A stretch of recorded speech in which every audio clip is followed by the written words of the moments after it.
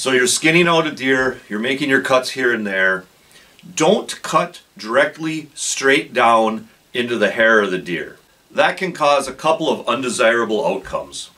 First of all, deer hair generally lays flat against the deer, and cutting directly across that hair will cause large clumps of the hair to fall right off, and those clumps can find their way onto the deer meat. So it helps to make your cuts at an angle into the direction of the deer hair instead of cutting directly across the deer hair.